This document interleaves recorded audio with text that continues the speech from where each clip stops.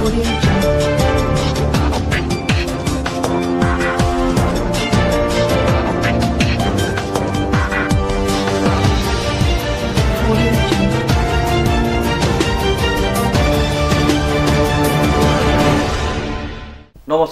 News দৰ বাতৰিলৈ স্বাগতম জনাই। ষ্টুডিঅ'ত মই উৎপল দাস। চাওঁ আহক কি আছে আজি আমাৰ সংবাদত। দহ জানুৱাৰী দেওবাৰে যোৰহাটত অনুষ্ঠিত হৈ যায় Assam Shotokan karate do sports এছ'চিয়েশ্যনৰ belt grading পৰীক্ষা। নিউজ দৰ এক ৰিপৰ্ট। দহ জানুৱাৰী দেওবাৰে যোৰহাট চহৰস্থিত কৰঙা বালিকা বিদ্যালয়ত এক গাম্ভীৰ্যপূৰ্ণ অনুষ্ঠানেৰে অনুষ্ঠিত হৈ যায় Assam Shotokan karate do sports এছ'চিয়েশ্যনৰ belt grading পৰীক্ষা।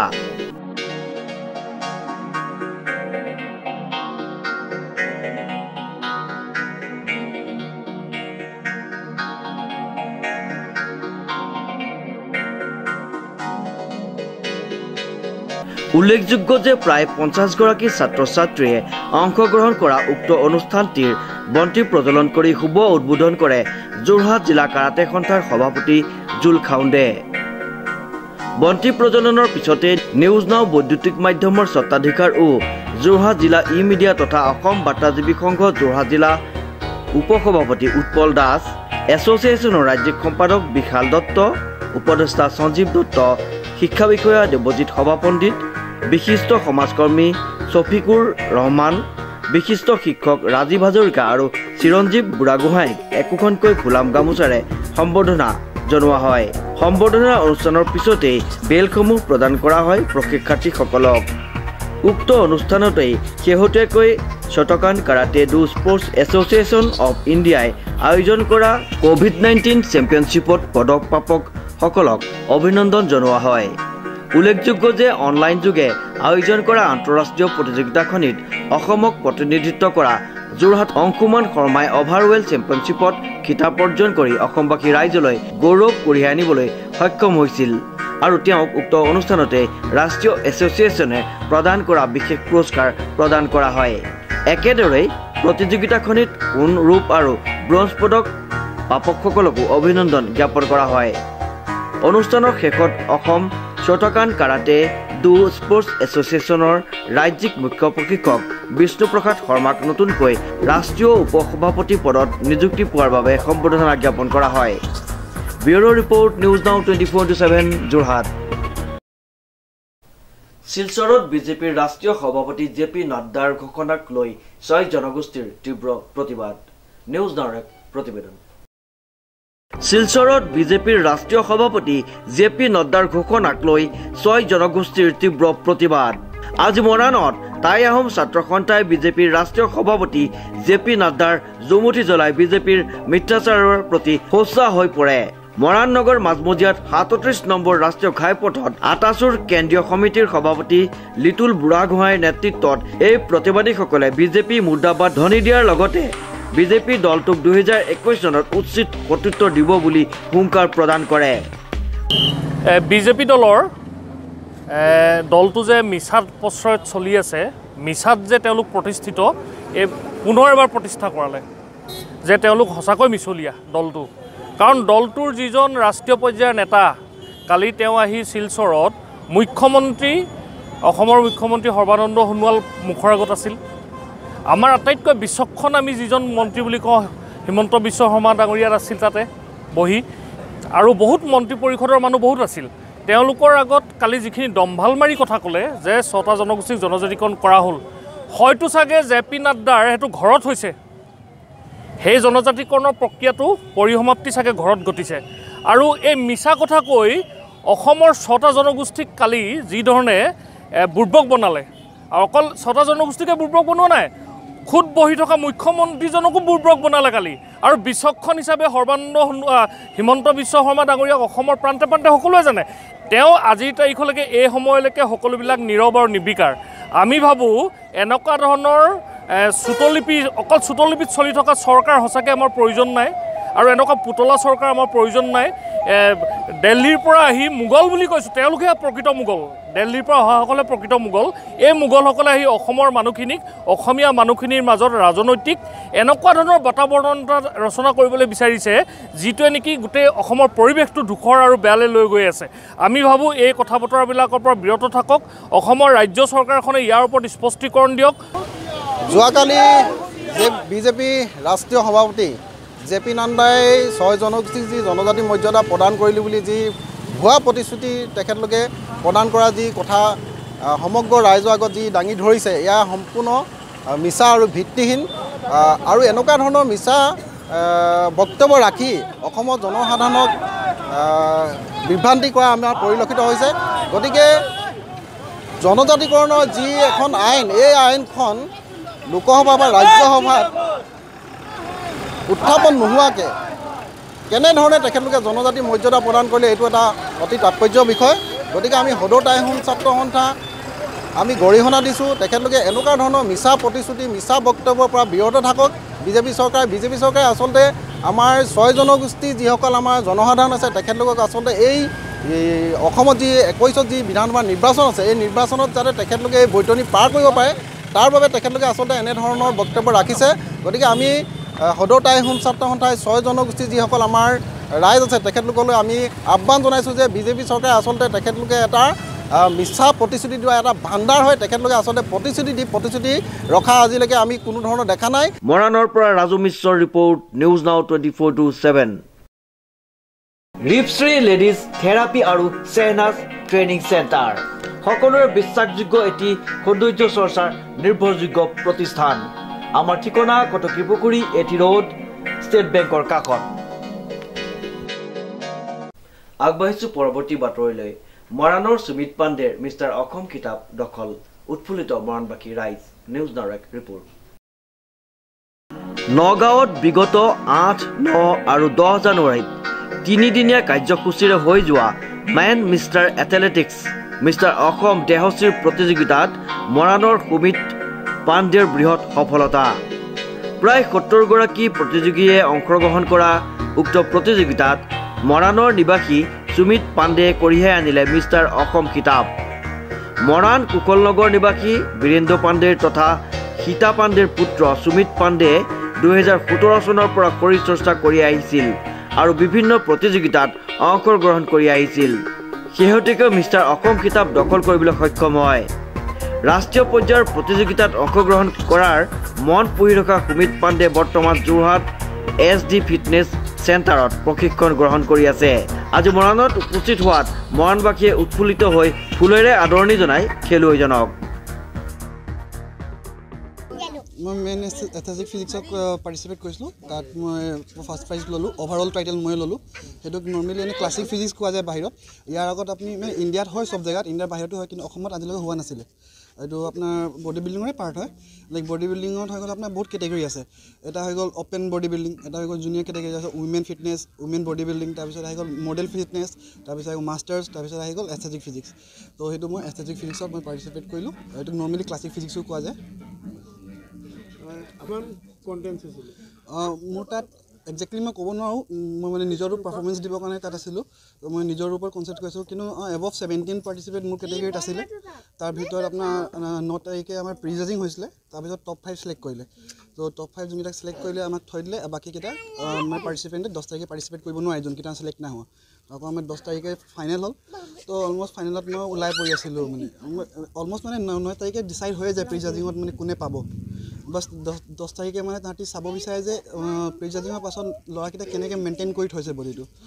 কাৰোবাৰ কাৰোবাৰ প্ৰি জাজিঙৰ পাছত কোনোবা বেছি খাই দিয়ে পানী চানী খাই দিয়ে তো বডিটো বেয়া হৈ যায় পটকৈ।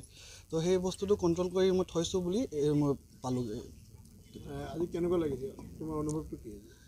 মোৰ অনুভৱটো কি ক'ম আৰু মানে এবাৰ হাৰি ইয়াত মৰাণত খেলিলোঁ সেইটো হাৰিলোঁ বাৰু। সেইটো মই বেয়া হাৰিলোঁ মই মানিছোঁ। কিন্তু সেইটো হাৰাৰ কাৰণে মই ডিম'টিভেট হোৱা নাই মই সেইটো এজ এ পজিটিভ ল'লোঁ।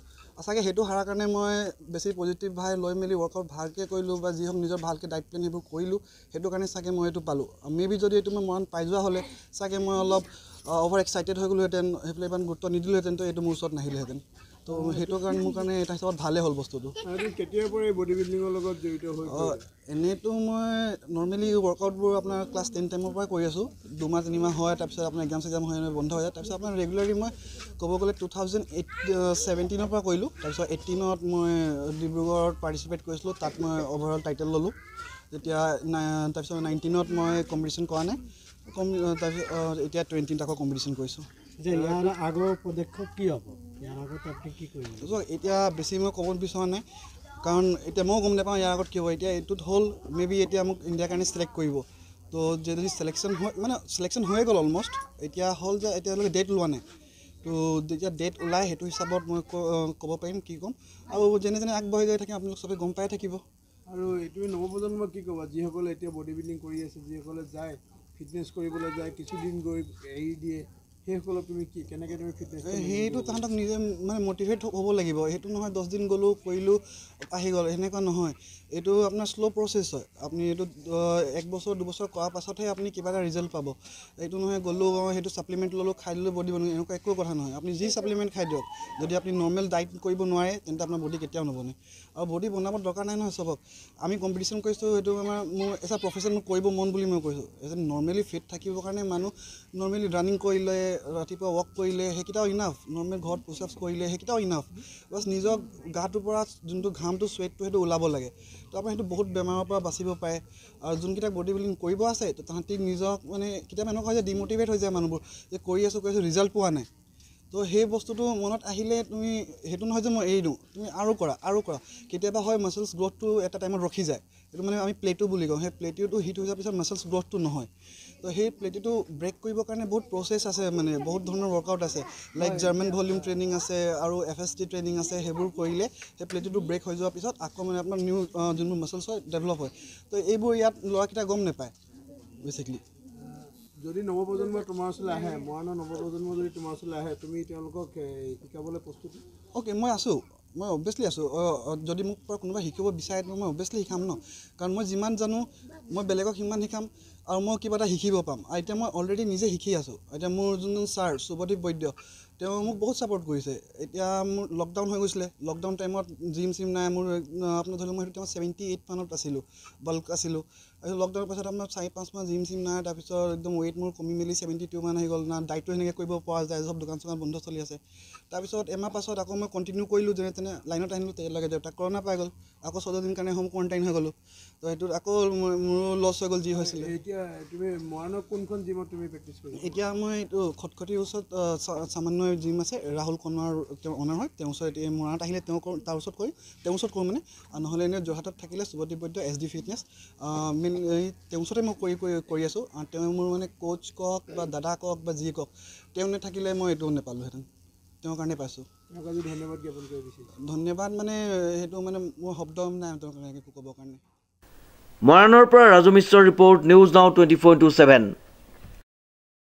মৰাণত ব্যৱসায়ীৰ বাসগৃহত চুৰিকাণ্ড চোৰে লুটি নিলে ধন টিভি আৰু ইনভাৰ্টাৰ। নিউজ নাওৰ এক ৰিপৰ্ট। ডিব্ৰুগড় জিলাৰ মৰাণ থানাৰ অন্তৰ্গত চেপন চাহ বাগিচাৰ বটনি লাইনৰ সুদীপ পাচাৰীৰ বাসগৃহত সংঘটিত হয় এক চুৰিকাণ্ড। দলে বলে প্ৰৱেশ কৰি লুটপাত চলাই চোৰৰ দলটোৱে। উল্লেখযোগ্য যে ঘৰত কোনো নথকাৰ সুযোগ বুজি পিছফালৰ দুৱাৰৰ তলা ভাঙি টিভি ইনভাৰ্টাৰ আৰু নগদ প্ৰায় ডেৰ লাখ টকা লৈ যায় চোৰৰ দলটোৱে। আনহাতে উক্ত চুৰিকাণ্ডৰ কথা মৰাণ থানাত অৱগত কৰে যদিও চৌব্বিছ ঘণ্টালৈকে আৰক্ষী ঘটনাস্থলীত উপস্থিত নোহোৱাত এক প্ৰকাৰৰ বিমূৰত পৰে সুদীপ পাচাৰীৰ লগতে পৰিয়ালবৰ্গই। জানিব পৰা অনুসৰি পূৰ্বতেও সেই ঠাইত এগৰাকী মহিলাৰ পৰা চোৰে কাঢ়ি লৈ গৈছিল ধন। মুঠৰ ওপৰত সেই অঞ্চলত এতিয়া চোৰৰ উপদ্ৰৱে চকুৰ টোপনি সৰিছে স্থানীয় ৰাইজৰ। কালি চাৰে পাঁচটা ছটা বজাত আমি ইয়াত গম পালোঁ যে ওচৰত ঘৰত চুৰ হৈছে বুলি। মই আহিছিলোঁ আমি কেইবাটা ল'ৰা আহি পিনে আমি আহি চালোঁ যে গোটেইখিনি ঘৰটো খেলি মেলি হৈ আছে। ইনভাৰ্টাৰ আৰু টিভি চুৰ হৈ গৈছিলে। তাৰপাছত দৰ্জাখনে পূৰা খুলি মেলি থোৱা আছিলে। আমি আহি চালোঁ কাৰেণ্টৰ ৱাইৰটো আহি গোটেই লাইটটো নুবাই আছিলে আমি আহি জ্বলাইছোঁ। জ্বলাই পিনে আমি গোটেই ঘৰটো চালোঁ চব খেলি মেলি হৈ আছিলে ইয়াত। খবৰ খবৰ কেইটা বজাত দিছিলে আপোনালোকে? সাতটা চাৰে ছটা সাতটাৰ ভিতৰতে দিছিলে নেকি? চাৰে সাতটা আঠটাৰ ভিতৰত। এতিয়ালৈকে পুলিচ আহিলে নেকি? এতিয়ালৈকে পুলিচ আহি পোৱা নাই। কি ক'ব বিচাৰিব? কি কৰিম যে আমি খবৰটো দিলোঁ। খবৰটো দিয়াৰ পাছত এতিয়ালৈকে একো কোনো দায়িত্ব লোৱা নাই। সেইটো কাৰণে আমি এতিয়া এই ক'ব বিচাৰিছোঁ যে কেলৈ দায়িত্বটো নাই দিয়া বুলি। কেতিয়া দিছিলে? যোৱা যোৱাকালি চাৰে পাঁচটা ছটাৰ ভিতৰত চুৰিকাণ্ডটো সংঘটিত হৈছিলে। মই দোকানত আছিলোঁ মানুহজনী ওচৰৰ ঘৰত আছিলে। ওচৰৰ ঘৰত আছিলে তেতিয়া চাউণ্ড শুনিলে আহিলে তেতিয়া সেইমতে চুৰি মানে মানুহবোৰ পলাই গ'ল পিছফালৰ দৰ্জাটো ভাঙি। আৰু ৰঙীন টিভি এটা ইনভাৰ্টাৰ আৰু ল'ৰাটোৰ এক লাখ ষাঠি হাজাৰ টকা আছিলে বাকচ এটাত এই গোটেইখিনি লৈ গৈছে। তাৰপাছত আমি ইয়াত খোজমোজ কৰিলোঁ ওচৰে পাঁজৰে গৈ পিনে একো সুমূত্ৰ নাপায় মৰাণ থানাত আমি ফোন কৰিলোঁ। ফোন কৰাৰ পাছত তোমাক এজা- এজাহাৰ দিবলৈ ক'লে ৰাতিপুৱা আজি গৈ পিনে ন তাৰিখৰ কথা। আজি দহ তাৰিখে আকৌ এজাহাৰ দিলোঁ। এজাহাৰৰ পাছত তেওঁলোকে এতিয়ালৈকে চৌব্বিছ ঘণ্টা হ'বলৈ হ'ল। এতিয়ালৈকে আমাৰ ওচৰত কোনো খা খবৰ লোৱা নাই অহা নাই এতিয়ালৈকে মৰাণৰ পৰা ৰাজু মিশ্ৰৰ report news now twenty four to seven. Richa car palace Jorhat চহৰৰ এটি সকলোৰে পৰিচিত গাড়ী বেচা কিনাৰ নিৰ্ভৰযোগ্য প্ৰতিষ্ঠান। আমাৰ প্ৰতিষ্ঠানত পাব সকলো কোম্পানীৰ ভাল কণ্ডিশ্যনৰ গাড়ী উচিত মূল্যত। আপুনি যদি আপোনাৰ পুৰণি গাড়ীখন সলাই অন্য গাড়ী কিনিব বিচাৰে তেন্তে আমাৰ লগত যোগাযোগ কৰক আৰু নিৰ্ভয়ে ক্ৰয় কৰক আপোনাৰ পচন্দৰ গাড়ীখন। আমাৰ প্ৰতিষ্ঠানত ৰিফাইনেন্সৰ সুবিধাও আছে। আপোনাৰ যদি এখন গাড়ী কিনি সপৰিয়ালে ফুৰিবলৈ যাবলৈ অথবা আপোনাৰ সপোন বাস্তৱ কৰি পৰিয়ালক ছাৰপ্ৰাইজ দিব বিচাৰিছে তেন্তে আপুনি চিন্তা নকৰিব। আৰু আমাৰ লগত যোগাযোগ কৰক কম মূল্যতে আপোনাৰ সপোনৰ গাড়ীখন হাততে পাবলৈ। গতিকে এবাৰলৈ হলেও আমাৰ মালৱালীস্থিত ৰিঠা কাৰ পেলেচলৈ আহক আৰু নিৰ্ভয়ে লৈ যাওক আপোনাৰ সপোনৰ গাড়ীখন। আমাৰ ঠিকনা ৰিঠা কাৰ পেলেচ মালৱালী ঠেকৰ পৰা যোৰহাট পোন্ধৰ এলাহাবাদ বেংকৰ কাষত। আমাৰ যোগাযোগৰ number eight one three five nine two six five seven two অথবা seven double zero' two eight six nine three two zero' আমাৰ শ্ব'ৰুমত হিৰ' ফাইনেন্স চোলামণ্ডলম আৰু মহিন্দ্ৰা এণ্ড মহিন্দ্ৰাৰ ফাইনেন্সো উপলব্ধ। গতিকে আজিয়েই আমাৰ শ্ব'ৰুমলৈ আহক আৰু লৈ যাওক আপোনাৰ সপোনৰ গাড়ীখন। এতিয়া সমগ্ৰ অসমবাসী ৰাইজ উঠি পৰি লাগিছে অতিকৈ হেঁপাহৰ ভোগালী বিহুটোক আদৰিবলৈ। তাৰ ব্যতিক্ৰম নহ'ল মৰাণতো। মৰাণবাসী ৰাইজে ব্যাপক প্ৰস্তুতি চলাইছে মাঘ বিহুক আদৰিবলৈ। আমাৰ মৰাণৰ সাংবাদিক ৰাজু মিশ্ৰই যুগুতোৱা এক প্ৰতিবেদন। চাওঁচোন আহক। অসমীয়া ৰাইজৰ হেঁপাহৰ ভোগালী বিহুলৈ মাজতে মাত্ৰ এটা দিন বাকী। গাঁৱে ভূঞে চলিছে এতিয়া মেজি ভেলাঘৰ বনোৱাৰ প্ৰস্তুতি। সমান্তৰালকৈ মৰাণতো মাঘ বিহুক আদৰাৰ ব্যাপক প্ৰস্তুতি চলিছে। মৰাণত মৰাণ আঞ্চলিক চুতীয়া ছাত্ৰ সন্থাৰ উদ্যোগত আৰু দক্ষিণ বৰপথাৰ ৰাইজৰ সহযোগত দক্ষিণ বৰপথাৰ ফণীধৰ চুতীয়া সোঁৱৰণী সমন্বয় ক্ষেত্ৰত অহা চৈধ্য আৰু পোন্ধৰ জানুৱাৰীত অনুষ্ঠিত কৰিব ভোগৰ উৎসৱ ভোগালী বিহুৰ। দুদিনীয়া কাৰ্যসূচীৰে অনুষ্ঠিত হ'ব লগা এই মাঘী মেলাখনিত অসমৰ কেইবাগৰাকীও জনপ্ৰিয় কণ্ঠশিল্পী উপস্থিত থাকিব বুলি জানিবলৈ দিয়ে উদযাপন সমিতিয়ে। লগতে এই মেলাখনিতে প্ৰয়াত সাংবাদিক দেৱী চুতীয়া সোঁৱৰণী সাংবাদিকতা বঁটা মৰাণৰ সাংবাদিক যদুনাথ পুৰীক প্ৰদান কৰিব। লগতে বৃহত্তৰ মৰাণ অঞ্চলৰ সাতগৰাকী বিশিষ্ট সাংবাদিকক সম্বৰ্ধনা জ্ঞাপন কৰিব বুলি উদযাপন সমিতিয়ে জানিবলৈ দিয়ে। নিশা সাংস্কৃতিক অনুষ্ঠানত কণ্ঠশিল্পী কুচুম কৈলাশ নীলাম নীতি বিতুপন চুতীয়া ৰিদীপ ৰংকিতৰ লগতে বহু কণ্ঠশিল্পীয়ে উপস্থিত থাকিব বুলি জানিবলৈ দিয়ে উদ্যোক্তাসকলে।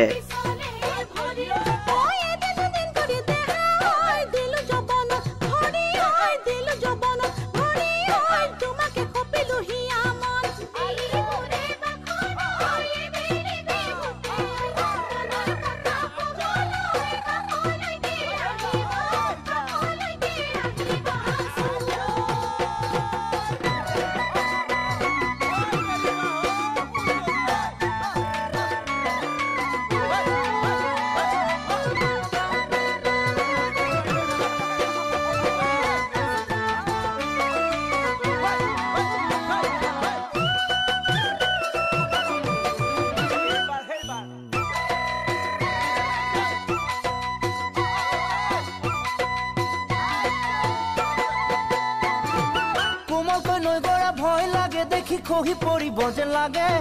মন মোৰ বলিয়া তোমাক পায়ে আজি কি কৰো নকৰো লাগে। দেখোন তুমি দাপোন হেজাৰ সপোন আজি মোৰ চোন সোৱন শিৰিৰ কেঁচা কৈ সোৱন শিৰিৰ কেঁচা কৈ সোণ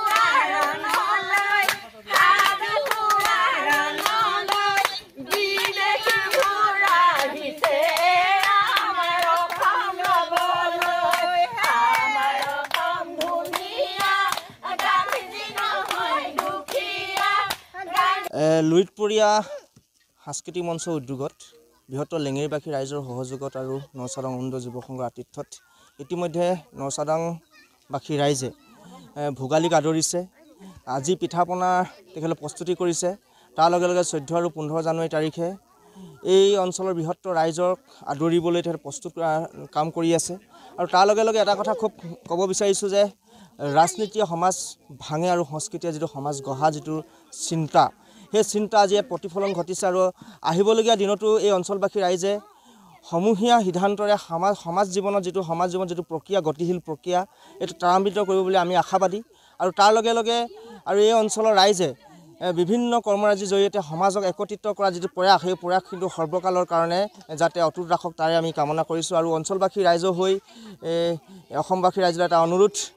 আৰু আকৌ পুনৰবাৰ ক'ব বিচাৰিছোঁ যে ৰাজনীতিয়ে সমাজ গঢ়ে সংস্কৃতিয়ে সমাজ গঢ়ে নচাদাং গাঁৱৰ বাসীয়ে আমাৰ ভোগালী বিহুৰ কাৰণে পিঠা বনা কিবা কিবি আয়োজন কৰিছে আৰু আমাৰ ইয়াত ভোগালী বিহু উৎসৱৰ মেলা পতা হৈছে। তাৰ কাৰণে আমি এই পিঠা বনা আয়োজন কৰিছোঁ সকলো ৰাইজ গোট খাইছে। এই গোট খাই আমাৰ ভাল লাগিছে। মৰাণৰ পৰা ৰাজু মিশ্ৰৰ report news now twenty four into seven. Jorhat চহৰৰ সকলোৰে পৰিচিত সকলোৰে বিশ্বাসযোগ্য এটি প্ৰতিষ্ঠান কাবেৰী লাইট হাউচ আমাৰ প্ৰতিষ্ঠানত সকলো ধৰণৰ ইলেক্ট্ৰিকেল সামগ্ৰী inverter battery geyser decorative light fan আদি পোৱা যায়। আমাৰ ঠিকনা কটকী পুখুৰী এটি ৰোড ষ্টেট বেংকৰ কাষত। আজিৰ বাতৰি শেষ হোৱাৰ আগতে এইবাৰ যাওঁ সত্ৰ নগৰী মাজুলীলৈ। আমাৰ বাপুতিসাহোন অসমীয়া ৰাইজৰ অতিকৈ হেঁপাহৰ ভোগালী বিহুটিক আদৰিবলৈ মাজুলীৰ দক্ষিণপাট সত্ৰ অঞ্চলৰ ৰাইজে চলাইছে ব্যাপক প্ৰস্তুতি। তাৰে এক বিশেষ প্ৰতিবেদন প্ৰস্তুত কৰি আমালৈ পঠাইছে আমাৰ মাজুলীৰ সাংবাদিক দেৱজিৎ বৰাই। চাওঁতে চাওঁতে নঙলাৰ মুখ পালেহি হেঁপাহৰ ভোগালী বিহুটি। ভোগালী বিহুটিক লৈ ৰাজ্যৰ প্ৰান্তে প্ৰান্তে চলিছে ব্যাপক প্ৰস্তুতি। ব্যস্ততাৰ যেন অন্ত নাই সকলোতে। কি উজনি কি নামনি সকলোতে কেৱল ভোগালীক আদৰাৰ প্ৰস্তুতি। এফালে যদি গাঁৱৰ যুৱকসকল ব্যস্ত হৈ পৰিছে ভিন্ন আৰ্হিৰ দৃষ্টিনন্দন ভেলাঘৰ নিৰ্মাণত। আনফালে সকলো মিলি পিঠা পনা বনোৱাত ব্যস্ত হৈ পৰিছে গাঁৱৰ ৰাইজ। এতিয়া তাৰেই অকণমান উপভোগ কৰোচোন আহক। নতুন আজি দেখোন তুমি নো মোৰ পূৰ্ণিমাৰ তুমি নো মোৰ পূৰ্ণিমাৰ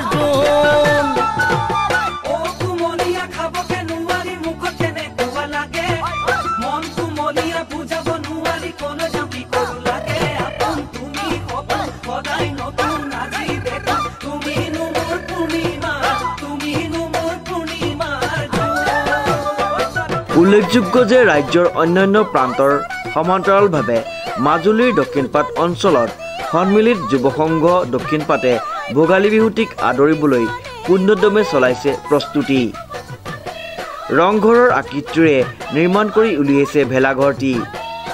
লগতে বিহুৰ দিনা পৰম্পৰাগত খেল ধেমালিৰ অনুষ্ঠান আয়োজন কৰিব বুলি জানিবলৈ দিয়ে উদ্যোক্তাসকলে। মাজুলী দক্ষিণপাট কলিতা গাঁও সন্মিলিত যুৱ সংঘৰ তৰফৰ পৰা অসমবাসীলৈ ভোগালী বিহুৰ শুভেচ্ছা জনাইছোঁ। আমি বিগত তিনি বছৰ ধৰি আমাৰ এই ভেলাঘৰ প্ৰচেষ্টা আমি অব্যাহত ৰাখিছোঁ। আমাৰ প্ৰথম বছৰ আছিলে আমাৰ এখন ডাঙৰ নৌ নাওকা নৌ আছিল কি? নাও আছিলে। তাৰ দ্বিতীয়তে আমাৰ যোৱাবাৰ ৰাইনুৰ গড়ৰ এটা প্ৰতিচিহ্নৰে আমি ইয়াতে চেফ ৰাইনু বুলি এটা আমি ভেলাঘৰ নিৰ্মাণ কৰিছিলোঁ। আৰু তৃতীয় পৰ্যায়ত আমি এবাৰ ৰংঘৰ যিটো অসমৰ কীৰ্তিচিহ্ন সেই কীৰ্তিচিহ্নটো আমি আমাৰ ইয়াত ভেলাঘৰ ৰূপত প্ৰতিষ্ঠা কৰা হৈছে। এই হেতুকে আমি প্ৰতিষ্ঠা কৰিছোঁ যিহেতু আমাৰ উঠি অহা প্ৰজন্মই আজি আঁতৰত গৈ আমাৰ এই ৰংঘৰটো দেখিবলৈ পোৱা নাই। তাৰ আৰ্হিটো ইয়াত প্ৰজন্মই আজিৰ প্ৰজন্মই দেখিব আৰু সেই প্ৰচেষ্টা আমি অব্যাহত ৰাখিছোঁ ভৱিষ্যতৰ কাৰণে। গতিকে সমূহ অসমবাসীলৈ আমাৰ সন্মিলিত যুৱ সংঘৰ তৰফৰ পৰা দক্ষিণ পাটৰ পৰা আমি শুভেচ্ছা জনাইছোঁ। প্ৰণৱ খেনচোৱাৰ সহযোগত মাজুলীৰ পৰা দেৱজিৎ বৰাৰ report news now twenty four into seven. এতিয়া জানোচোন আহক আজিৰ দিনটোৰ বতৰৰ বতৰা। আজিৰ দিনটোৰ সৰ্বোচ্চ তাপমাত্ৰা আছিল ঊনৈছ ডিগ্ৰী চেলচিয়াছ আৰু সৰ্বনিম্ন এঘাৰ ডিগ্ৰী চেলচিয়াছ ইয়াৰ লগতে বতৰ আংশিকভাৱে ডাৱৰীয়া হৈ থকাৰ সম্ভাৱনা। নিউজৰ বাতৰিত আজিলৈ ইমানেই। বিভিন্ন বা বাতৰিৰ অনুষ্ঠানৰ বাবে চাই থাকিব news now twenty four into seven. ধন্যবাদ।